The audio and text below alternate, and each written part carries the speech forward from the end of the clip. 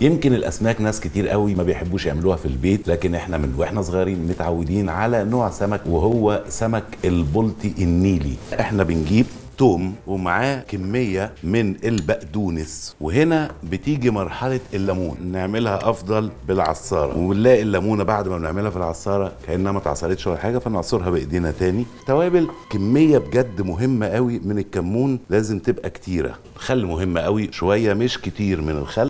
كده بقى معانا التتبيلة اللي هي التوم مع البقدونس مع الكمون والفلفل الأسود جاهزة على إنها تتحط في السمك. في حاجة لو اتضافت ليها هتعمل ريحة هايلة وهي جوزة الطيب.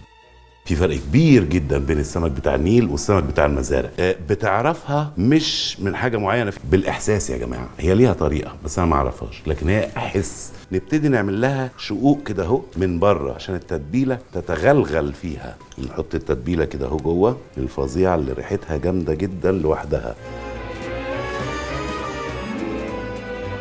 هنجيب السمكة وننزلها في الدقيق. ونحاول نبقى حريصين إن الدقيق يوصل لكل حتة. أهم حاجة ننفض السمكة لأن الدقيق الزيادة ده بيعمل كلكعة في الزيت. جه دلوقتي دور القلي. نتأكد إن هو خلاص سخن إن إحنا بنجيب شوية مية كده ونعمل كده.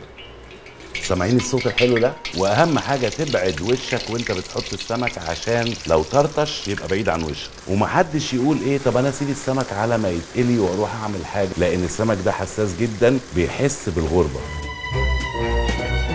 مفيش سمك طازة زي اللي أنت بتصطاده. يعني لو في مركب بتنزل البحر يجي لك تاجر التجزئة يقول لك ده سمك طازة. طيب ده فات عليه 15 يوم في تلج. لكن اللي أنت بتصطاده يومها ده بجد أحلى سمك في الدنيا. ده يا جماعة السمك بعد ما خلص زي ما أنتم شايفين. لكن برضو إيه التاتش الأخير نقوم ليمونه كده اهو عصيرها